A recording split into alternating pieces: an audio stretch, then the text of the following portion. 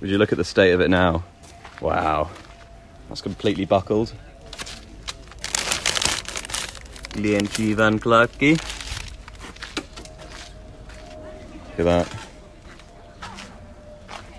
Look at the spectacle of that.